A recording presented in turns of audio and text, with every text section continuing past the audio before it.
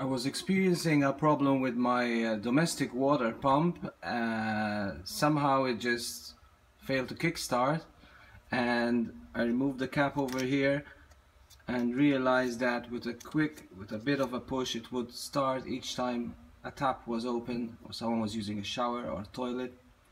The problem it seems was related to a capacitor which resides in one of the upper part of the pump over here. It's very easy to replace.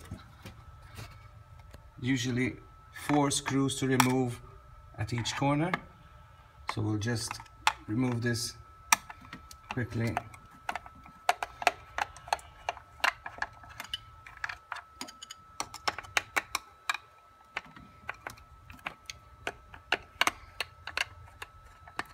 Make sure the pump is switched off of course before performing such troubleshooting.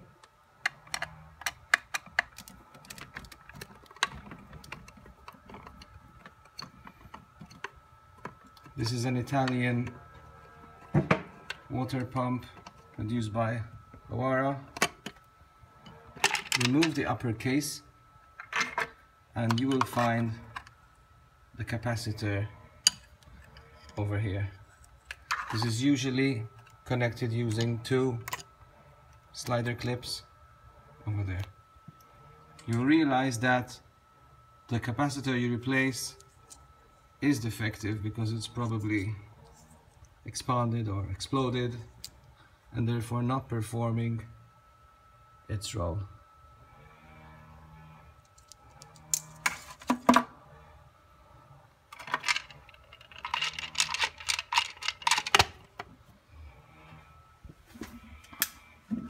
Now, after replacing the capacitor, you will see that's the flow and that's the pump kicking in. Thank you for following.